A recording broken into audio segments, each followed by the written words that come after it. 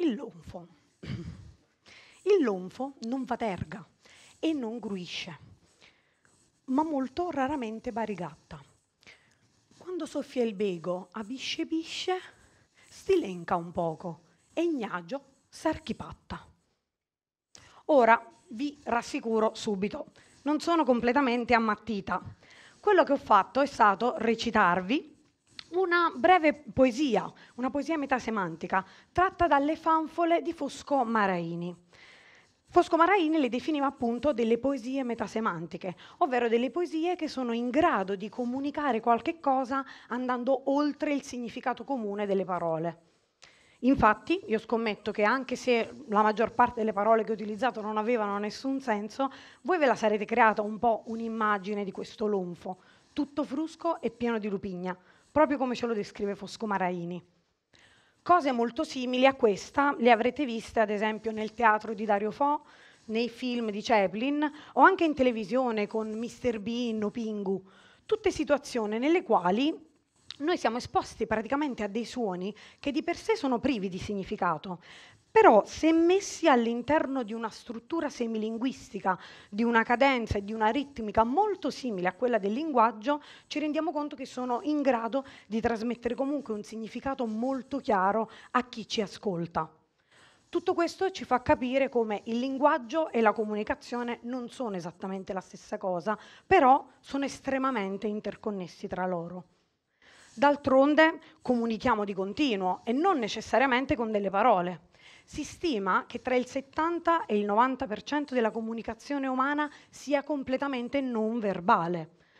Tutto di noi comunica. Comunica il modo in cui ci tagliamo i capelli, ci vestiamo, camminiamo su un palco, il modo in cui siamo vicini o lontani da un'altra persona e il modo in cui le rivolgiamo uno sguardo. E tutto intorno a noi ci comunica.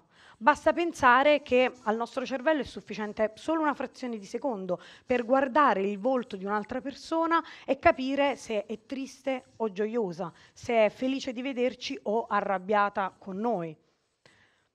D'altronde la comunicazione non è una prerogativa dell'essere umano, ci sono tante altre specie animali che sono in grado di mostrare delle forme di comunicazione. Le formiche, ad esempio, utilizzano scambi di messaggi che possono essere tattili ehm, o anche sonori per comunicare dov'è il luogo in cui si trova un cibo o anche in cui si trova un pericolo.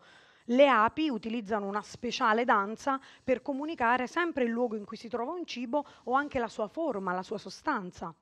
Tuttavia esistono delle nettissime differenze nel modo in cui comunica un animale e in cui comunica l'animale essere umano. Ad esempio, queste forme di comunicazione eh, che vedevamo finora non sono intenzionali. Difficilmente vedremo un'ape che punta ad un'altra ape e fa «Ehi, lo sai che lì ho visto proprio un gran bel pezzo di fiore?» È molto diverso.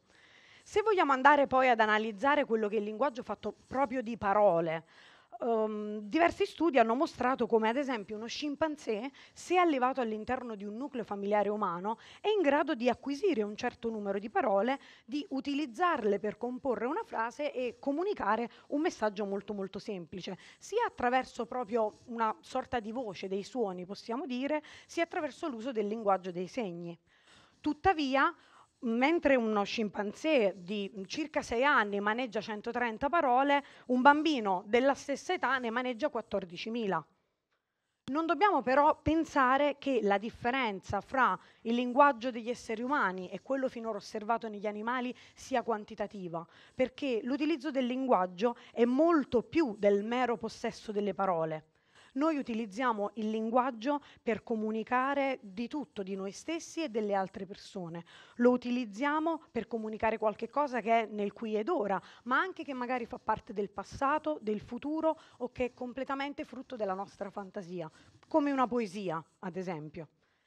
Inoltre il linguaggio negli esseri umani ha un'importantissima funzione anche di coesione sociale difficilmente possiamo immaginare di vedere una formica che va dalle sue colleghe formiche a lamentarsi delle dure condizioni di lavoro a cui è sottoposta.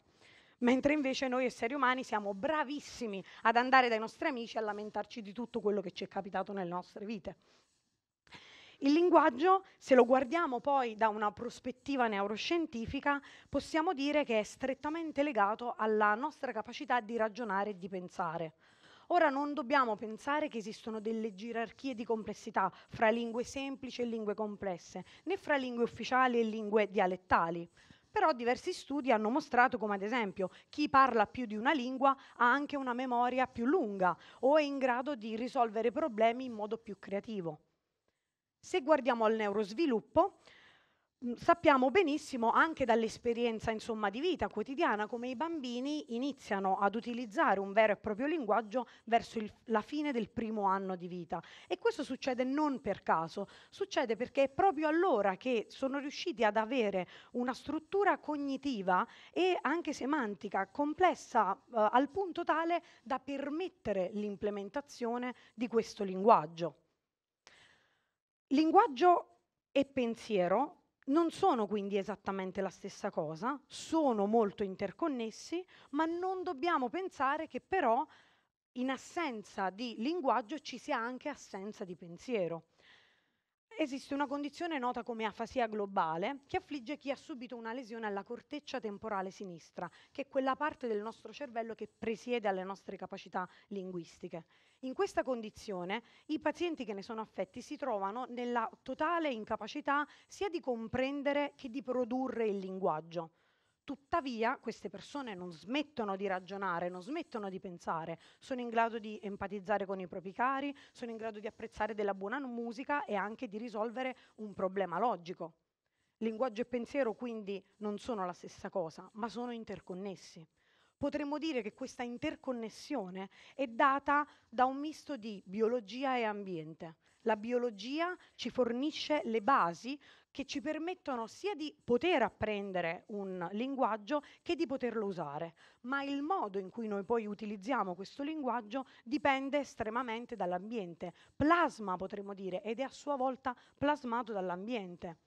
Numerose evidenze infatti sottolineano come la lingua che parliamo ci dà le parole che ci servono per categorizzare e quindi interpretare il mondo che ci circonda. Ad esempio, una persona italiana come me riesce molto più velocemente a distinguere tutte le sfumature del colore che possono andare dall'azzurro fino al blu in una frazione di tempo abbastanza rapida rispetto ad una persona madrelingua inglese che invece utilizza solo la parola blu per descrivere tutte queste possibili sfumature, quindi sia quella più chiara che quella più scura di questo colore. E questo avviene proprio al, in virtù di questa intrinseca connessione fra quella che è il bagaglio linguistico che ci portiamo dietro e quella che è la nostra esperienza percettiva. Infatti questo tipo di evidenze ci mettono in mostra come questa interconnessione non si verifica solo in qualcosa di estremamente semplice, basilare, come appunto la percezione del colore o la percezione di una forma, ma anche in funzioni cognitive molto più complesse, come ad esempio la capacità di orientarci nello spazio, di orientarci nel tempo e perfino di provare delle emozioni. Le parole che il nostro bagaglio linguistico ci mette a disposizione per descrivere le emozioni determinano tantissimo sia di come noi stessi le viviamo in prima persona, sia di quanto ad esempio siamo più o meno disposti a condividerle, esternarle nei confronti delle altre persone. E tutto questo è frutto, è evidenza proprio dell'interconnessione continua che c'è fra biologia e ambiente. Il linguaggio quindi getta le basi del nostro pensiero, ma la relazione è bidirezionale perché non determina e influenza solo il nostro pensiero, ma anche il pensiero di chi ci ascolta. Io potrei descrivere uno stesso evento con parole diverse e trasmettere due messaggi completamente opposti. Se ad esempio io dico che Patrizia è in ritardo, mi sto limitando a descrivere un fenomeno, un evento. Se io invece dico che Patrizia è una ritardataria, sto dicendo molto di più. Sto insinuando nella mente di chi mi sta ascoltando che quella non è la prima volta che è successo e che probabilmente capiterà ancora una volta. In altre parole, sto insinuando, sto suggerendo una qualità permanente di quella persona.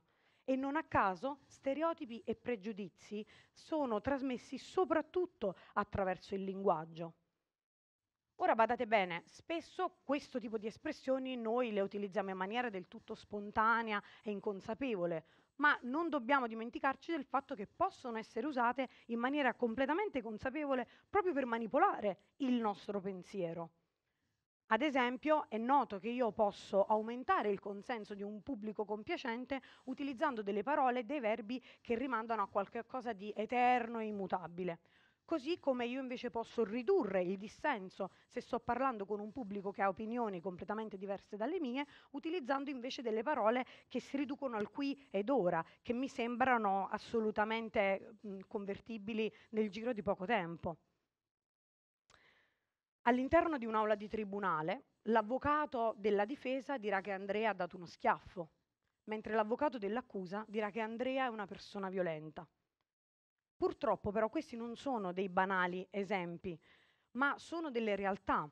Diversi studi hanno dimostrato come operazioni linguistiche di questo genere sono in grado di influenzare tanto il consenso politico quanto il giudizio di colpevolezza o innocenza di una persona in un'aula di tribunale, un qualche cosa che dovrebbe dipendere solo dai fatti e non dalle parole che vengono utilizzate per descrivere quei fatti. Il linguaggio ha il potere di plasmare la nostra realtà e di insinuare idee all'interno della nostra mente. Nel film Inception Christopher Nolan si chiede attraverso le, domande, le, le, parole di Leonardo DiCaprio qual è il parassita più resistente al mondo. E la conclusione alla quale giungono è che non è un virus o un batterio, ma è un'idea. Un'idea, perché un'idea una volta che ha preso piede nel nostro cervello è quasi impossibile da eradicare. E la cosa più sorprendente è che per instillare un'idea è sufficiente una parola. Provate a non pensare ad un elefante o alla posizione che in questo momento ha la vostra lingua, mentre vi sto dicendo di non farlo. È praticamente impossibile.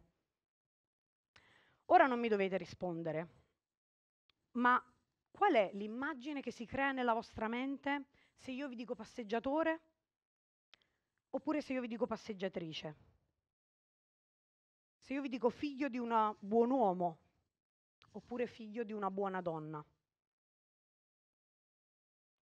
Il linguaggio ha un grande potere e come tutti i supereroi ben sanno, da grandi poteri derivano grandi responsabilità.